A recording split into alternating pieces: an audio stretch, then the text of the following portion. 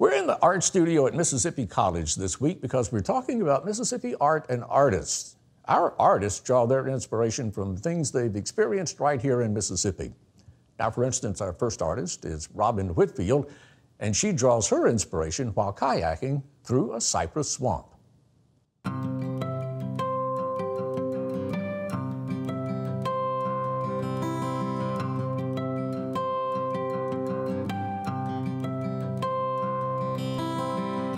My beginnings as, as an artist has to start just with my home life.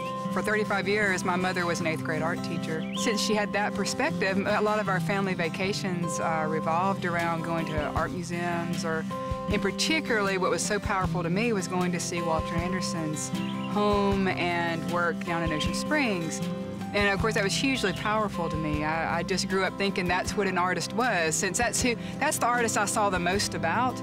Um, I just, I thought he represented artist. And so that meant being outside in nature, painting things you discovered and found, and being isolated and on adventures all the time.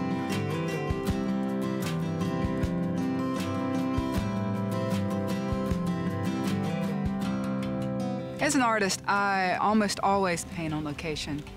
And occasionally I'll take a kayak what I love about kayaking is I can access things that no one else can access. I can take myself away from where I might get interrupted by a person or a sound and completely lose myself in nature.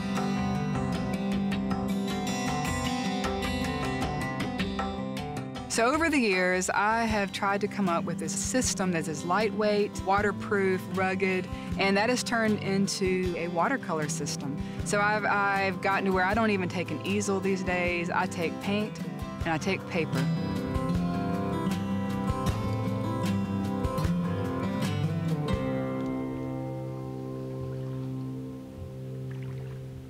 So an interesting thing happened uh, about a decade ago when I was painting. And uh, I was out in my kayak, I was out in the middle of a, of a swampy area, uh, working on a painting that I was kind of excited about. And some wind came along and, and picked up my paper and blew it face down in the water. Well, I, I, with a heavy heart, I reached down to grab it. I just knew it was just going to be awful. And I picked it up, and sure enough, it was covered in this just brown stuff that was all over the water. And for a split second, I was a little disappointed. But I mean, I, I mean, pretty immediately, I, I, almost took in my breath, like, oh, oh my gosh.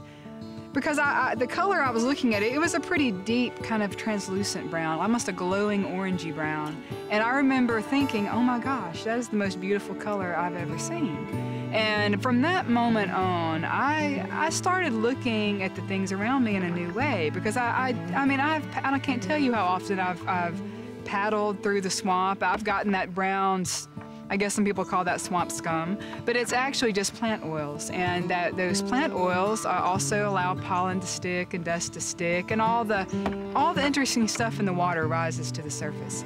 And so it's almost even like a petri dish. I mean, it's as interesting to me scientifically as it is artistically. So when I pull my paper through that water, I can look down and see bits of plants, little animals moving around, sometimes algae, just all kinds of stuff. It's very seasonal. Different times of year, different sorts of things will be in a very thin layer across the paper. And it's different every single time, and I, it never gets old. Now, I don't really know all the chemistry going on. I'm really more interested in the magic. For a long time, I've, I thought my role as an artist was going to be like Walter Anderson. I was going to paint images of certain areas and inspire people to go to those places or maybe to save a place. Well, I am so glad that life had other plans for me. What's happened over the past 15 years is I've fallen in love with a particular natural area. Chakchiuma Swamp at Leetart Nature Preserve is less than a quarter of a mile from our uh, downtown square where my studio is located. So of course that means this is where I come the most and I come here almost every day.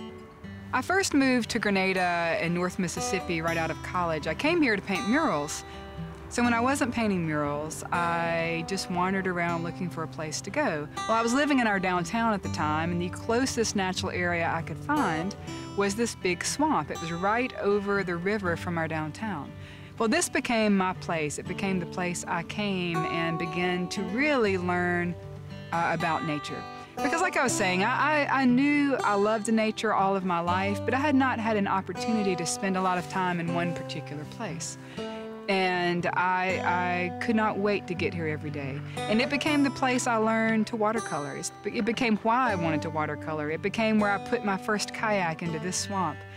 Our city decided they wanted to do a citywide timber harvest on all their properties, the swamp being one of them. That's when the true conservationist in me came out, which I did not even truly realize was there at the extent that it was.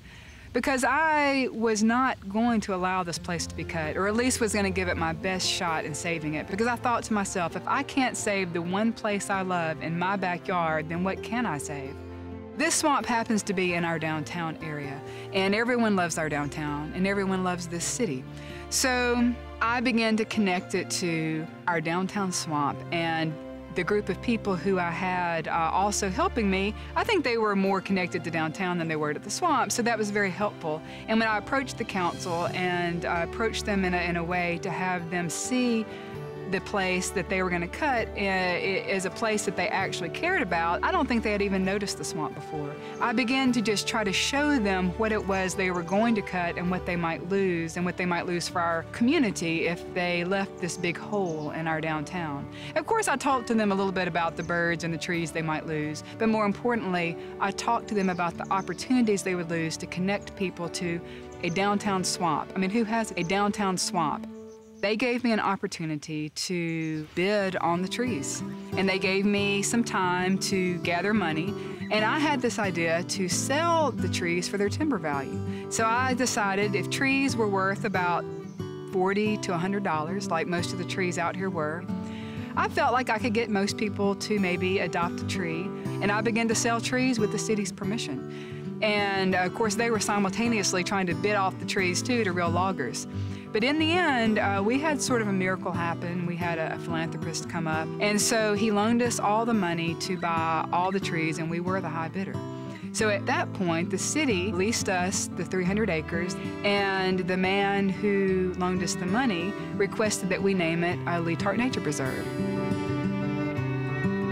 Everything is connected. The people coming here, they're loving it, them taking it back, talking about it, the way it spreads out into the world, every single thing is connected from the smallest microorganism here to the big groups of people that come here on our days when we do tours to just where it sits in our downtown. Every single thing is connected, and everything that has happened here or will happen here is because of those connections.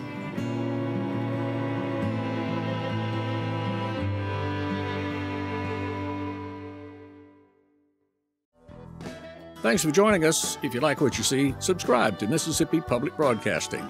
Till next time, I'll be seeing you on Mississippi Roads.